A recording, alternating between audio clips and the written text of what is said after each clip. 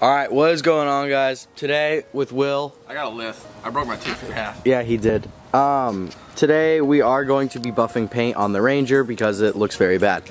I'm going to use this fender as an example of paint that's already been buffed. It's really smooth. You can run your hand along it and don't feel anything.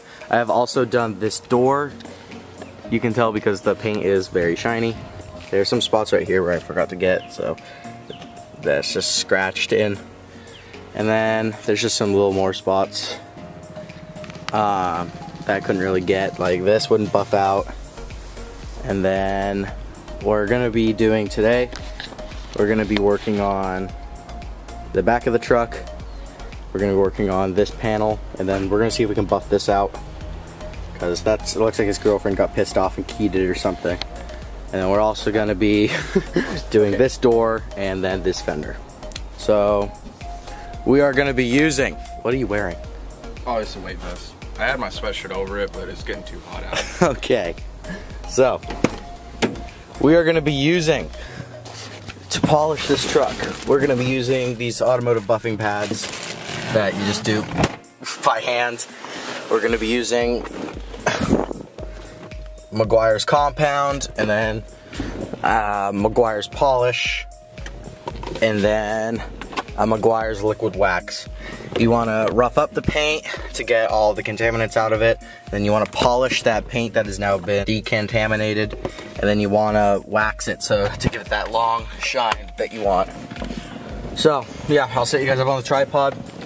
And then we're gonna do a time lapse of us buffing. And then I'll show you guys each panel.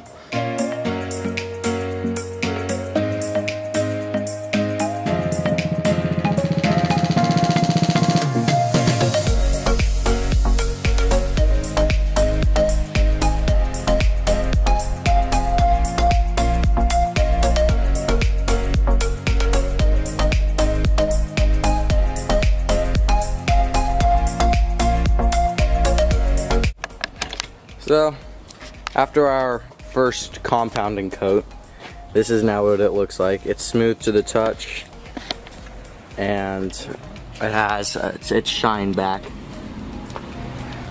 It doesn't look as good in camera as it does in You know, I have person. And then Will did this panel, and it looks just as good. After. After some help, but you know. So now I'm gonna polish this side, and I'll show you guys what that looks like.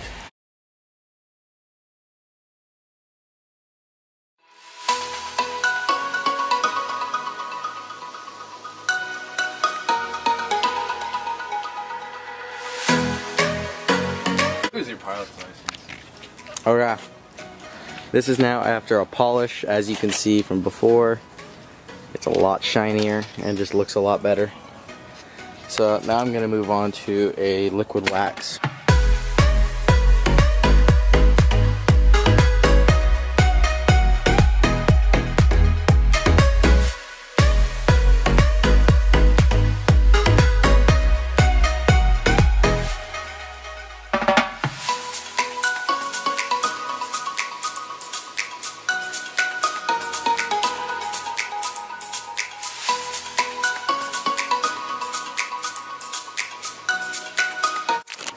Okay. Now after doing the wax, you can see that it has a nice shine to it. Paint just looks a lot better than it did. And you can see the reflection right there. So, um, I think it looks really good. And then when you're on your hand over it, you don't feel any rough spots in it. Check out that reflection. Yeah, I know. it looks so good.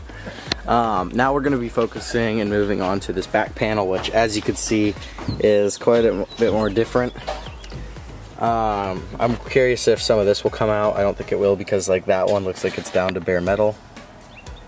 Oh yeah. And then there's these, which I'm curious. I don't think these will come out. This is just clear cut scratches though, so I might buff that, those out. out.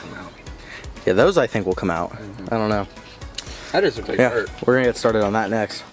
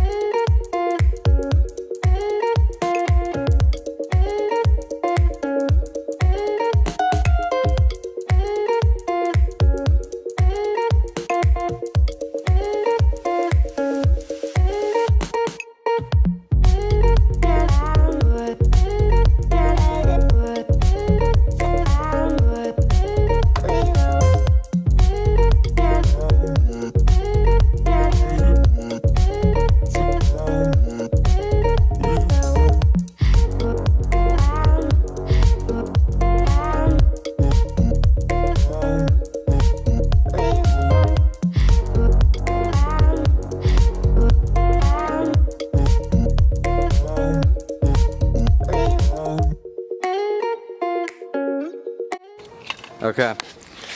After compounding this fender, it has gotten a lot smoother, but it didn't take out, it took out, there was a couple scratches here that it took out, but as you can see on camera, there's still some big ones, like right there. But, all looks fine, it's shinier. And then this was the biggest one, that didn't happen. Oh, that's got a level attached to it? That's awesome. Yeah. but yeah, that's it, and then I'm gonna polish this now.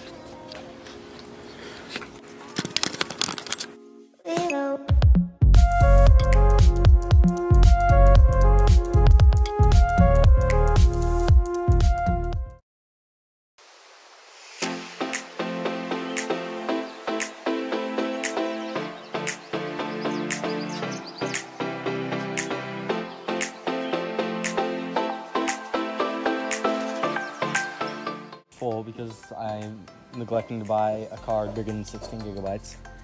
Um, I've just finished polishing, polishing this fender completely. Um, next, I'm gonna wax this, and then I think in this video, we're gonna take this seat out, and then maybe figure out this issue with the seatbelt because it won't come out. Um, and we're gonna take out this seatbelt and maybe just clean out the interior. But yeah, that's what we're looking at right now. I'll keep you guys updated once the exterior is all waxed. Okay, paint has now been buffed and completely finished. It's such a nice shine.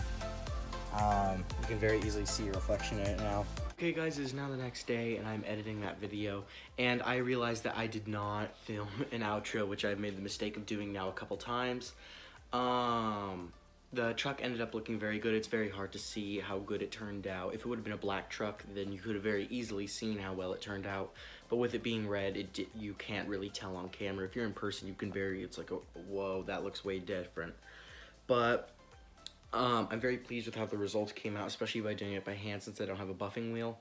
Um, that fender, as you could see in the video, it started to kind of like dry up before I could get it all because I was starting to, like, my arm was starting to get really tired. It's a lot of work buffing paint by hand.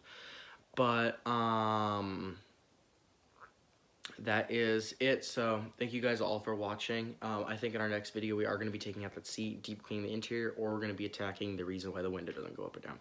So, thank you guys all so much for watching, and I'll see you guys in the next one.